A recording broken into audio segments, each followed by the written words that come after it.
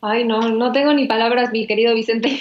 La verdad es que em, pues la gente merece una conversación mucho más honesta, em, mucho más respetuosa, más seria. Yo no dudo, como hablábamos al inicio, que haya críticas válidas, em, que haya preocupaciones genuinas, que no se deba hablar sobre el pasado reciente de las Fuerzas Armadas en nuestro país y ver de qué manera podemos encontrar mecanismos para que eh, no vuelva a suceder una Yotzinapa o eh, cualquiera de los ejemplos que desgraciadamente tenemos en nuestra historia.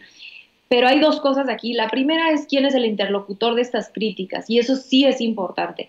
No, con esto no estoy diciendo que, eh, que la gente no pueda cambiar de opinión. Por supuesto que lo puede hacer. todos hemos, nos hemos equivocado y todo el mundo podemos decir antes pensaba así y ahora pienso de esta forma. Pero esta gente tuvo responsabilidad en dónde estamos parados hoy.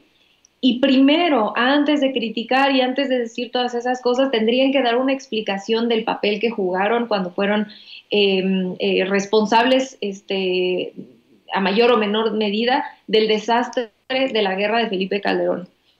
Lo mismo pienso eh, con personajes como por ejemplo Clemente Castañeda, que eh, ha sido muy, em, muy ruidoso al expresar su, oposición eh, y hablando sobre em, cómo la, la vía eh, de pacificación en realidad son las policías locales. Bueno, no sé si él se acuerda que él representa a uno de los estados más violentos de todo el país también. Él es, es, es eh, hablan como si no tuvieran responsabilidad alguna eh, en el caso de los panistas por lo que significó en el pasado, en el caso de eh, Germán Martínez, recordemos quién era Germán Martínez en el panismo de Calderón, recordemos qué hizo Álvarez y Casa durante el periodo de Calderón, le lavó la cara, le lavó la cara a Calderón. Y si hoy está arrepentido de eso, pues primero que se disculpe. Y, y en el caso de Movimiento Ciudadano, lo que hoy, em, lo que hoy significa gobernar, en el caso de Alfaro, por supuesto, y ser legislador de Jalisco, que es uno de los seis, eh, de las seis entidades federativas que acumulan casi la mitad de los homicidios de todo el país. Es irresponsable la manera en la que salen a, hablar como si fueran eh, unos simples opinadores que no han tenido eh, injerencia en la vida pública y que no han sido parte del problema de seguridad en el que nos encontramos. Si tanto consideran los, eh, los de MC, por ejemplo, el caso de Castañeda, eh, de Clemente Castañeda, que la vía es fortalecer las policías locales, pues ¿por qué no las han fortalecido en Jalisco? En Jalisco se da el 3% del presupuesto a, la Secretaría de Seguridad. En la Ciudad de México se da el 11%. El 11% del, del presupuesto de la Ciudad de México eh, está destinado a seguridad.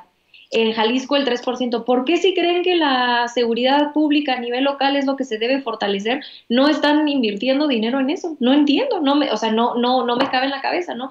¿Cómo es que, em, que, que pueden atreverse a salir a decir que la ruta es otra, cuando en sus manos pueden hacer esa ruta y no la están haciendo. Y por el contrario, están entorpeciendo eh, una propuesta que ha dado resultados, lentos, pero que ha dado resultados.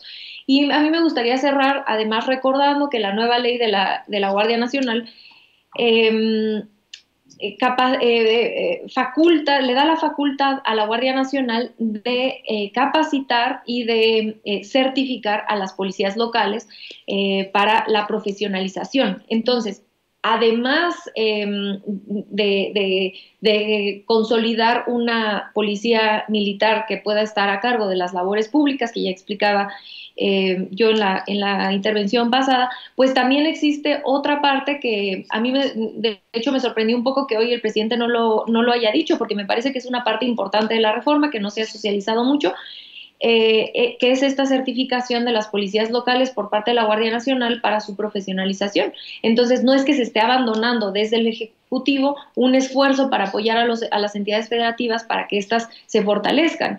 Eh, sí está ahí el esfuerzo institucional de hacerlo, ¿no? Entonces, de verdad me parece una hipocresía de un nivel que no merecen los mexicanos, ni siquiera eh, eh, a, a, la gente que ellos representan, porque repito, se puede cambiar de opinión, es válido cambiar de opinión, es válido arrepentirse, todos somos seres humanos, todos nos hemos equivocado, lo que no es válido es hacer como si no en el pasado o en el presente eh, no tuvieras responsabilidad de lo que está sucediendo, como el caso de Jalisco, como el caso de, del PAN en Guanajuato, eh, y que estés entorpeciendo por cuestiones políticas, algo que le puede ayudar a la gente a salvar vidas literalmente.